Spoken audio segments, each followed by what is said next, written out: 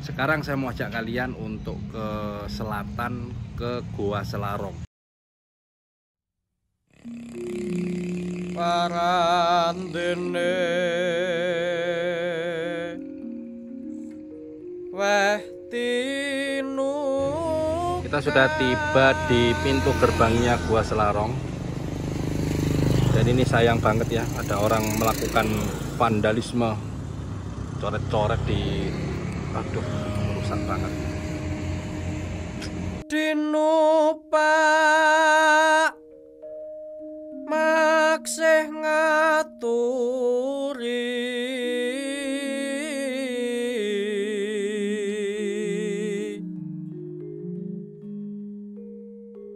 Kaku tiase nuli lunga sakalane temah balik.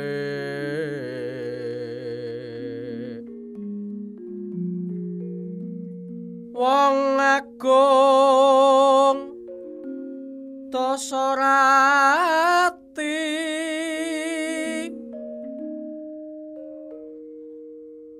sarjana marta pinunjul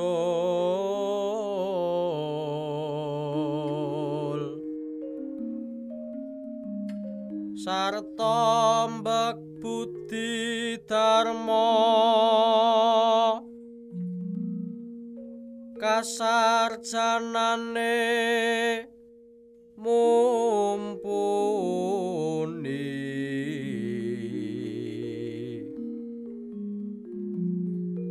nuli nganti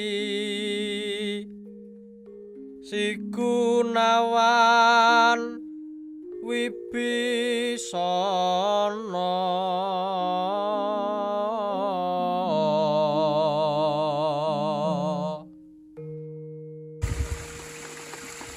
Seger banget ya.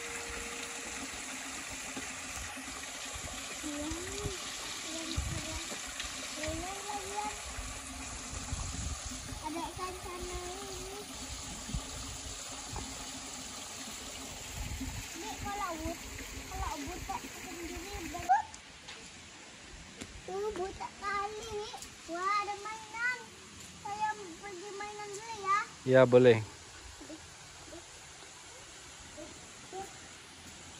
Sekilas begitu saya sampai di lingkungan Gua Selarong ini, di sini terdengar suara air yang begitu gemericik ya.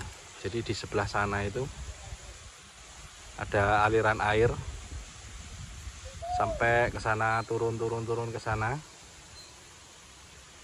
Jadi ada sungainya. Jadi kayak ada air terjun kecil. Kemudian di sebelah sini juga ada. Nah, itu tadi yang sempat kita ambil video. Dan di sebelah sinilah tangga untuk menuju ke Goa Selarongnya. Tentu ini dibangun bukan zaman dulu ya. Kalau zaman dulu kemungkinan besar pastinya ya ndak pakai tangga seperti ini. Habis ini kita mau naik, tapi masih nunggu adik Muhammad mainan dulu.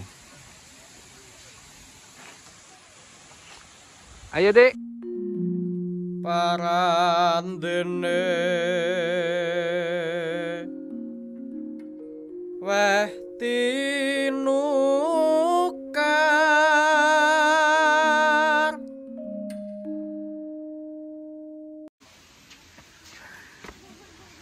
Zaman dulu tentunya belum ada tangga seperti ini, pastinya masih tanah dan batu saja dan lokasinya memang dingin, sejuk, asri dan di kanan kirinya memang ada aliran airnya. Kerekam nggak ya suaranya airnya itu? Gemericik banget. Jadi memang secara lokasi juga nyaman untuk tinggal karena sumber airnya ada.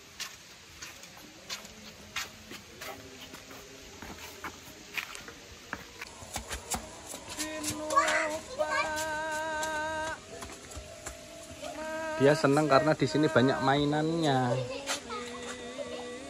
ya enak. Wah, curam sekali ini ya. Kayak di tangganya Bromo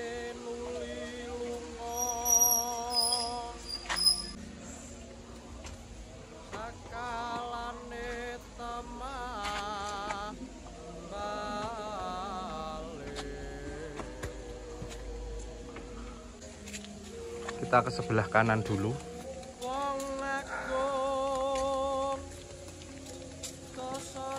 Sini, Dek.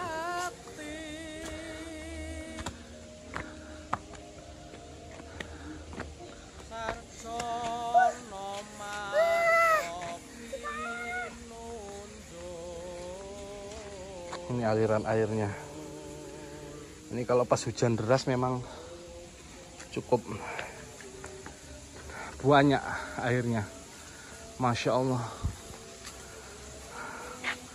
Itu air lagi.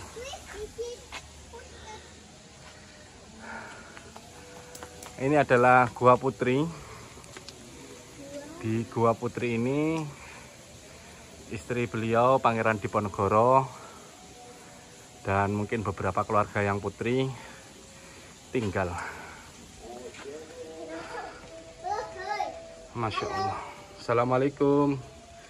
Bismillahirrahmanirrahim. Kita mau masuk. Masya Allah. Terasa banget dingin.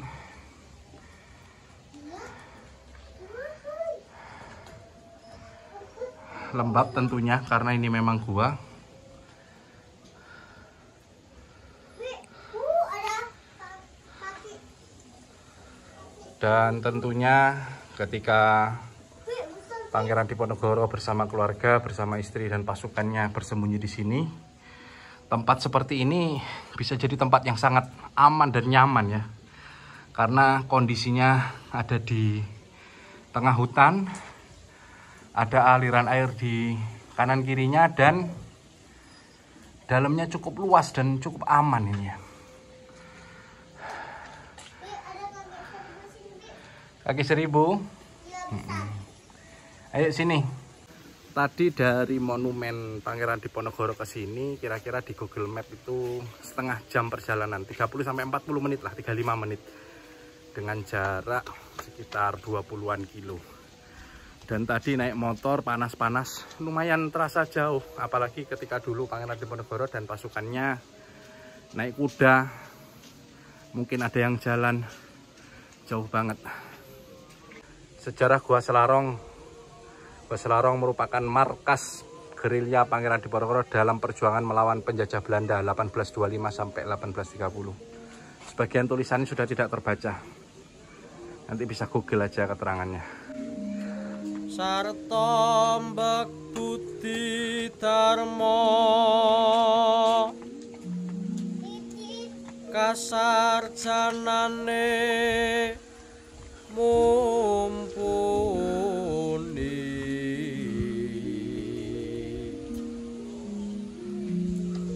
nuli nganti sigunawan Wibisana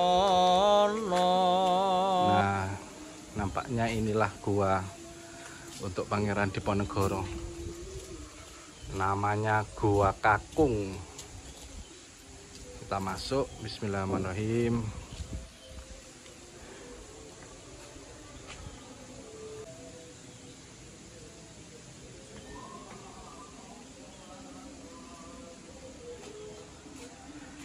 Kondisinya lebih sempit daripada yang Gua Putri tadi. Jadi kemungkinan besar memang di sinilah Pangeran Diponegoro beristirahat, bersembunyi, membangun pasukan dan tentu saja menyiapkan rencana untuk melawan Belanda. Ini kayak batunya kayak diukir begitu ya. Bukan diukir atau dipahat mungkin lebih tepatnya ya.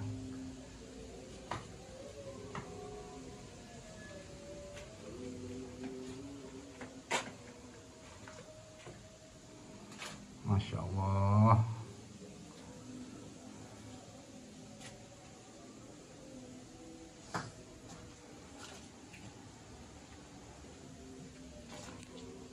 Di tempat seperti ini tempat seperti inilah yang kemudian menjadi bukti bahwa Pangeran Diponegoro ini benar-benar mujahid, pejuang, dan sangat layak disebut pahlawan. Beliau ini keturunan sultan, keturunan raja, beliau berhak tinggal di istana, menikmati berbagai macam kenikmatan yang memang dinikmati oleh seorang pangeran, tetapi karena kebencian beliau terhadap penjajahan di negeri ini, kemudian beliau meninggalkan istana dan kemudian tinggal di tempat seperti ini, di goa seperti ini. Saya saja yang bukan anak sultan kebayang kalau harus tinggal di sini, masya Allah, tentu sangat berat sekali. Tempatnya dingin, lembab, jauh, tentu sangat tidak nyaman. Tetapi ini menjadi bukti eh, kepahlawanan beliau, perjuangan beliau, Pangeran Diponegoro. Mudah-mudahan kita sebagai penerus dengan konten seperti ini, dengan penjelasan-penjelasan di banyak channel, di banyak tulisan-tulisan, banyak buku, menjadi terus termotivasi untuk menjadi orang yang bermanfaat untuk negaranya, untuk negerinya, untuk orang lain. Kayaknya kontennya mau saya akhiri di sini. Ini kondisinya sudah panas dan sayup-sayup terdengar barusan adzan zuhur, kita mau pulang. Terima kasih sudah nonton video hari ini ke Monumen Pangeran Diponegoro, Sasana Wiratama di Tegal Rejo dan Gua Selarong di Bantul, eh, daerah istimewa Yogyakarta. Terima kasih. Assalamualaikum warahmatullahi wabarakatuh. Sigunawan Wibisono